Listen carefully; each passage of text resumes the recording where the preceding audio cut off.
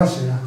Ciao Alberto, senti, adesso insomma, tutti sono diventati glitch con il nuovo crollo del Treviso. Bisogna tenere saldo la mente adesso. Ma È lunga ancora, però. questo sicuramente sì.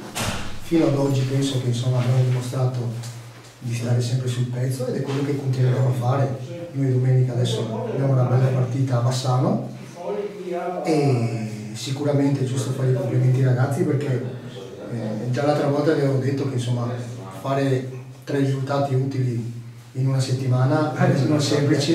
Anche questa settimana non è semplice perché insomma il doppio impegno con la Coppa Italia e quello insomma di domenica sono state partite toste però questo è il segnale ma questo l'ho detto anche ai ragazzi del fatto che la rosa è fatta di giocatori importanti, giocatori seri, giocatori che si mettono sempre a disposizione e che vogliono migliorarsi e dunque insomma chi entra, chi inizia la partita e poi chi subentra dimostra sempre di farsi trovare pronto. E anche oggi non era facile. Assolutamente, assolutamente, ma è giusto anche fare i complimenti all'avversario perché non è che noi al di là poi della classifica ci sono anche gli avversari, è un avversario serio, un avversario preparato, ma penso che oggi Vino Provincia ha dimostrato qual è la sua, la sua forza, la forza di una squadra che sta bene in campo, che lotta su ogni pallone, che dimostra solidità e e dunque ha portato a casa meritatamente la partita. a Podarselo che ha giocato una buona partita e questo cresce eh, probabilmente anche di più il, eh, diciamo, il valore proprio dell'Unione Comunieste. Sì, sì, assolutamente, come ti ho detto poc'anzi, insomma, Campodasso è una squadra che, che- che gioca, che insomma, ha individualità importanti e, e lo ha dimostrato.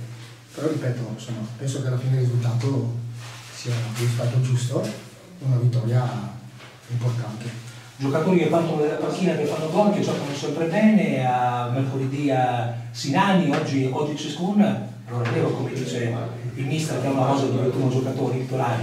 Sì, sì, sì, sì, la Rosa è di 21 giocatori, 19 di movimento e Burracci mercoledì ha fatto un gol importante e oggi l'ha fatto Cesco, probabilmente lo meritava anche mercoledì, quindi sono contento per lui e ho giusto insomma fargli i complimenti perché dai, è entrato in partita, è entrato bene e poi l'ha, chiusa.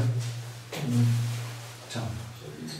E, s- sì, no, dicevo, mm, è difficile trovare, adesso tra poco entriamo anche il primo mercato, fa migliorare questa squadra.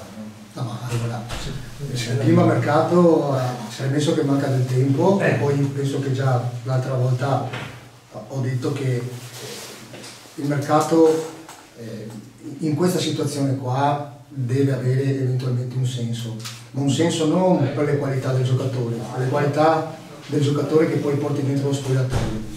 E dunque in questa situazione non c'è nessun pensiero, nessuna riflessione in nessun reparto. Poi tutto è migliorabile, questo sì, ma non è un pensiero che abbiamo in questo momento.